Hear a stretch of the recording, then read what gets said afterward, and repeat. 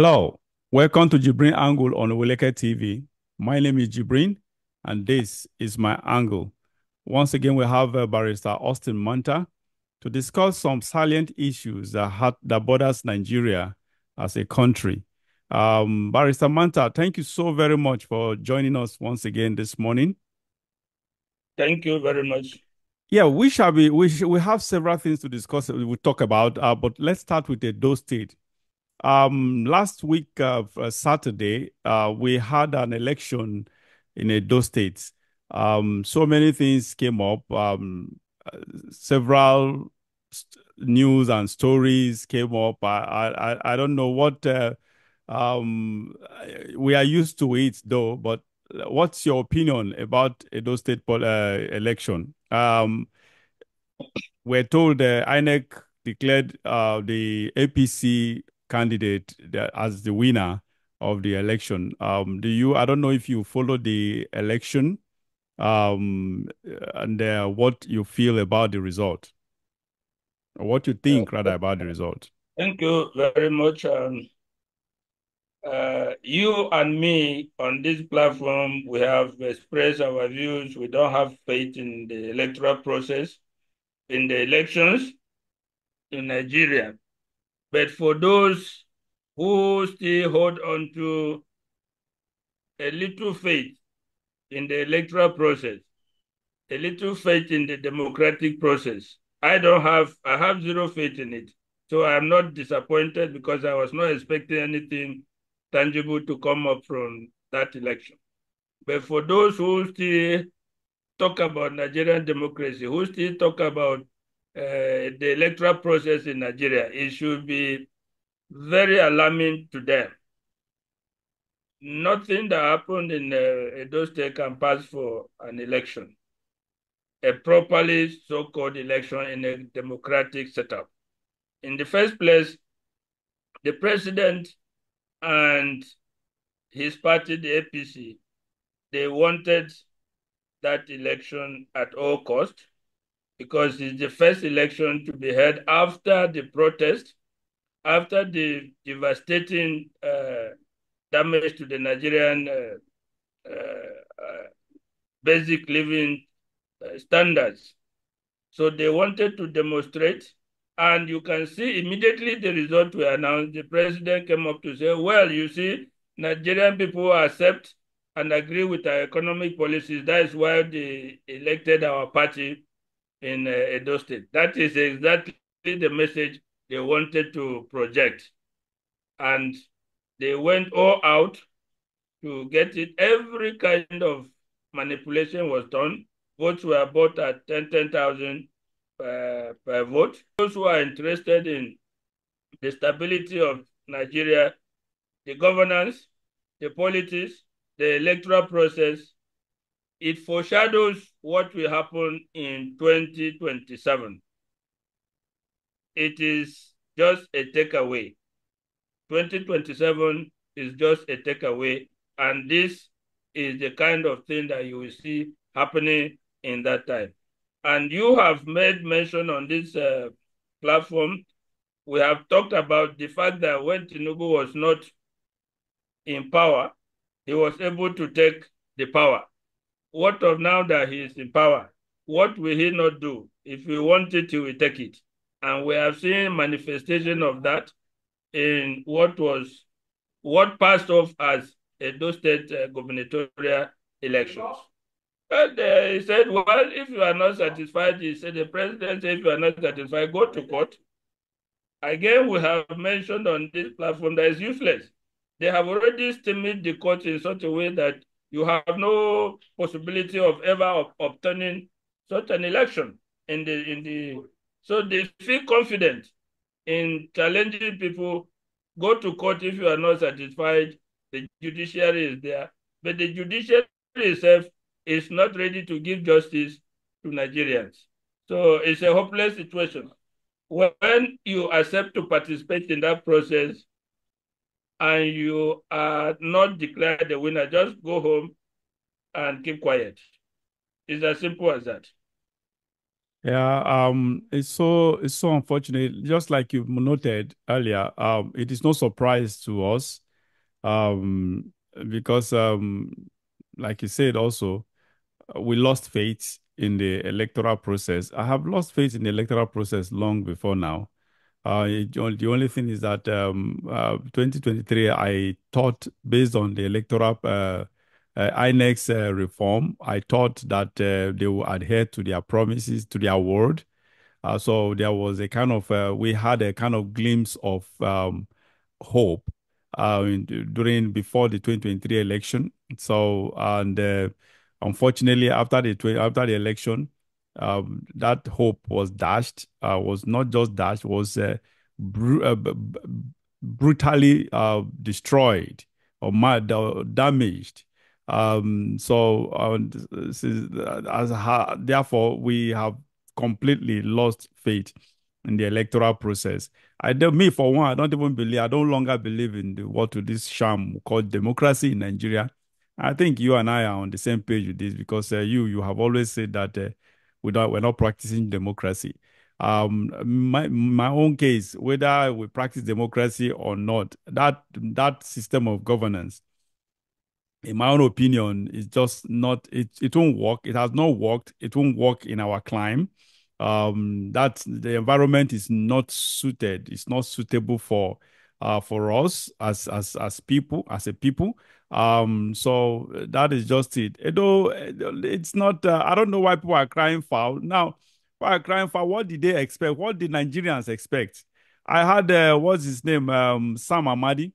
I was holding, I think well, that's one of the videos I was supposed to, we are supposed to play here. But uh, since we have an issue um, with uh, the system, um, we just can't do that. Asam Amadi was addressing after the election or whatever was was I think he had a press conference. He has been very vocal anyway. Um, I think I, I love the guy. He has been very vocal and uh, very very um aggressive at that. So and uh, he was actually talking. He, he he he strongly criticized the of course um expected expected uh, expectedly criticized uh, Edo State, uh, uh, the Edo uh, election. However, he went further to uh, request for the reform of the INEC or whatever. And I, I look, I well, I he, he was sincere about it. There's no that he, he's trying his best, but the truth is, um, his recommendations or his suggestions or advice are just things that are not that the government nobody will listen to. What and besides, like I always say, when people say we should, that the Nigerian constitution needs um, a reform, need, needs an overhaul or an amendment, or an amendment or whatever, and I always say, look, Nigerian constitution at its, at its, as it stands today does not need anything. What we need, the reformation, the the amendment that we need is, embedded in we humans. This is the human beings that actually need reform. We the personalities are that, that are that are uh, responsible to the implementation of the of the of uh, of of the of the constitution are those that actually need an orient a, different orientation, um, a transformation uh, that needs repentance, that needs to change, that needs to start doing the right thing. Otherwise, the document we have does not have any different. As far as if people want to do the right thing, what we have, our legal system, our law, laws are good enough to take us to where we where we dream, where we desire to be, and that's just it. So the thing boys down when uh, Sam Amadi was trying to address this issue of uh, was talking about criticizing the government and asking, or requesting, or advising, or suggesting for uh, for um, the uh, INEC reform that uh, INEC should be overhauled or whatever. And I said, I said, look, um, I, I, I I told, I told myself, what is this man talking about? We all know what the problem is. The problem is is not is the system, not the the rules. The rules are there; they are all embedded. Like this INEC of a thing, we all know that as the, that was what gave us hope in 2023 during the 2023 election. The the the law, the INEC law, as it stands, as it stands today, it's a it could it a, a very very perfect law that could have given us a perfect a perfect election. But what happened? The the the human beings the devils and the demons who are in charge, who are that, that whose head is is is is is the devil himself, which is uh, uh Mahmoud Yakubu, uh, who are the ones managing this INEC. They they circumvented the system, and that is what they are doing. They keep circumventing the system, and that is exactly what they did. They applied the same modus operandi uh, at the Edo State uh, election, the last uh, uh the, uh, the la last Saturday. A sort of so what overhauling this. There is nothing. The problem is it is we human beings. Our leaders are the ones who need to change. They need a, a different orientation, a different mindset a sort of so that is just that is just the reality anyone people profile i don't even know people are profiling so many things uh, do this or do that or do this or do that government of the day will not they will not do that and besides we don't what we have in our books they are good enough they are perfect enough to take us to where we where we ought to be the problem is that people are not obeying the laws People are not following the rules. They are not adhering to the rules and, of the game. And they are aided. They are aided by the Supreme Court that should put his hand down, his leg down. That is that the point. Stamp his foot down and say, look, if you INEC set up your own rules that this is how you conduct election, you should follow the rules. How that can the, the Supreme Court tell us that INEC, having set up the rules, are free to discard the rules and do what they want. What kind of uh, justice is that? Honestly, that's just I. I had uh, uh, what's his name, Akpata, uh, the Labour Party. Is it uh, the Labour Party candidate? He was talking about going to court or whatever, and he's a lawyer or whatever. I think he was a bar chairman. Um, I, I was, I, I, I was, I, is it bar chairman, former bar president, right? Yes. Um, former president of the NBA. NBA, yes, bar president, Nigeria Bar Association. Um, so I, I, I wondered. I, I just wondered. I asked myself. Didn't the what... PDP candidate say he's going to court? Is, is it not laughable? Yeah, oh, God, God, oh, God, oh, yes. What happened in 2023 yeah, election? I, I don't. In fact, when I, I had, know when I, whether they were not in Nigeria when these uh, cases were being decided that is the point. Honestly, I, I, when I had both of them, I had that of the PDP and that of the Labour Party, they, they, they are going to court. And I asked myself, what the hell are these people talking about? Were they not were they not born at the last by uh, at the last 2023 election? Were they were they still in their mother's womb? Were they not around? What happened? Didn't they know? Didn't they see or hear what happened? Didn't they experience what happened? What the hell are they? You're going to court to do what? What are you going to court? One of the things where we, that is on the table for us to discuss is about the Supreme Court that this man has the the the the the, the, the um uh, the current CJN uh, that has been this her position has been has been uh, made uh, permanent. A sort of um uh, there's a word I'm, I'm actually seeking for. Um, what is this uh, employment? Confirmed. Confirmed. Confirmed. confirmed. Chief Justice of Nigeria. Correct. Sure, sure. So our position has been confirmed. Then we'll come to that because she's one of our topics as well. Now, I, I they, they, I don't know when I had them talking about going to court, going to what, which court or what court? Is it the one that that have, have been mesmerized or bastardized or balkanized? The one that does not, if that calls white, that that that actually interprets what is clearly white into black? I, I, don't get it. The one that has the is it the, the, the same court that have turned turned the entire legal system upside down? Where are they going to? That is nonsense. That is I, I, they are, that is just waste of money, waste of energy, waste of time, waste of other resources. So I, I don't understand what. Uh, look, when, Nigerians. When, when um, people like Amadi are talking, I think it's uh, intellectual laziness. Because what he's saying, we have passed that stage of say reform. Correct. Uh, reform INEC. We have passed those stages. The whole country, almost 90% of Nigerians had no confidence in INEC before the 2023 election. election. Yeah.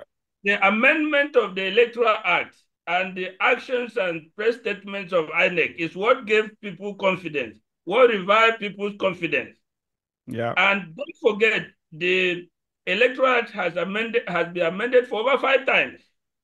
Over five times. The last one, 2020, that INEC now propagated, that they came out and continued to assure that, oh, this time around you will see, as they vote, you are seeing the result. As they vote, you are seeing the result live, in real time. There's no room for manipulation. They deceived us. There's no room where the result will be taken from police station to a ward level where before you reach the ward level, it is changed. As you are voting, you are seeing it live. People became confident that probably this time around, we have got it right. That is why you saw a lot of um, positive out, out, outcome. I mean, um, uh, turn, up, uh, turn up of the election people came up.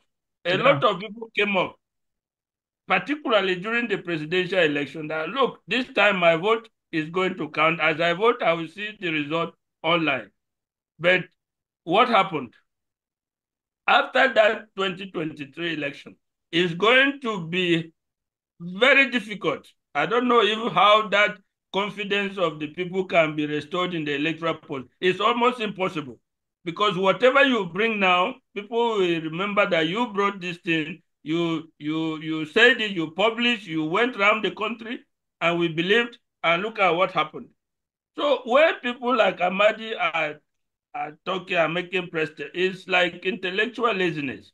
Look at what happened. How can you come today and be calling for reform? What reforms are you going to do in INEC? Honestly. That will restore confidence of it's not the uh, the laws, it's not the electoral act, it's not the rules. INEC made rules pursuant to the electoral that this is how we will conduct election. And they did not, they flouted their own rules. And the Supreme Court said, look, INEC can do as it please. They can do whatever they want. They can say, we will upload the result on INEC, our authentic result on INEC, and then petition that and, and go and announce result at the collection center. And that result announced at the collection center will be the correct result. So where do we go from there? What reforms are you, see, you going you to see? The, you see, this is my this is why I find the, the, this. We talked about the peace accord. Was it last week or so? Where that uh, General Abdulsalami um, cheers and uh, Matthew Kukah. Those people are a bunch of corrupt people. For God's sake, they are, as far as I'm concerned, now, because the same people they went together with the same INEC chairman that orchestrated the, the worst evil, that orchestrated the worst evil on Nigerians in 2023 election. The same INEC chairman, they the same they took into a Edo State to to to what to sign this crazy piece or whatever. So, what is the essence of that? When they knew quite all right. In fact, when I saw the INEC chairman together with them on on on on the screen I, I i just i say why is this man actually walking freely on our streets that man is supposed to be lynched lynched honestly he he is the problem he is the problem he is the uh, immediate let me use that word uh, Nigerian problem is so large and broad, so comprehensive. The dynamics, the dynamics are so so uh, sometimes incomprehensible. But our problem, the immediate cause of our problem right now is the INEC chairman. Because if he had done the right thing during the 2023 election, probably we could have had a, a, at least a light at the end of the tunnel with the government that because Tinubu couldn't have been the president. Definitely, everybody knows that. Obi Peter Obi could have been, he was supposed to be the president. He won that election. No, no, there's not, there's no two ways about that probably we could have been on, on, the, on, on the right precipice. But here we are, the same INEC chairman, now they are warming him up to be to remain in power until probably after 2020, 2027 election because they want to use him to perpetrate the same evil that he, he, he, he perpetrated in 2023. Why would someone like like uh, Yakubu, the chairman, um, uh, INEC chairman, be walking freely on the streets. For God's sake, this is unbelievable. That man is supposed to be somewhere other than the, the INEC, be remaining as the INEC chairman. It is so sad. It is so sad. And shame, shame on uh, uh, uh who is who is using his position to. I, I, don't get it. I, have always I've always faulted this issue of this is peace accord because he is it is it, it, it is hypocritical. It is it is it is just pretentious. A sort of um that is just that's what I, the way I see that crazy piece. And there's someone like uh, Matthew Kukah, Matthew Kukah, right from time, every government of the day, they always find a way. He will first start with criticizing here and there, and the next thing you be chickens out, uh, probably inducement. Of course, these are things that goes beyond under the uh, be, uh, below the radar, radar.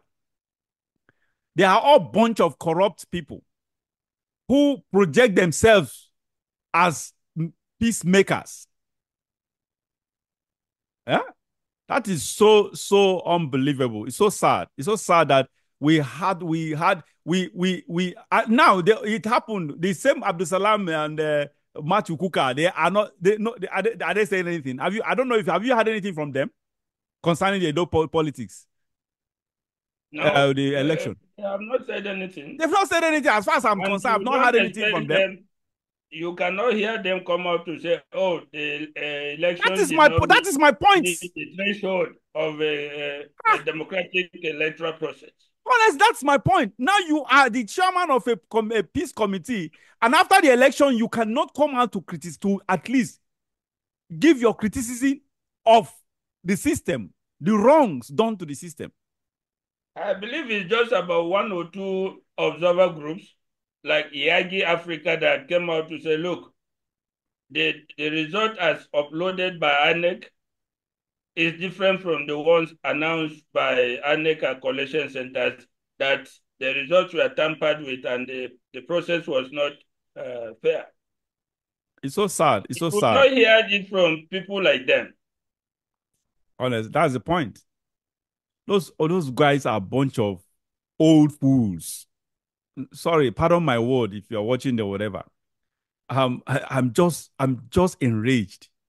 Enraged because we have all it takes to make the right to to act the, right way, take the right decisions, make the right, take the right steps. For God's sake, yet we are not doing it just because of some a, a less than one percent rapacious leaders who are who have made themselves evil, uh, uh, epitome of evil. It's so sad, so sad, honestly.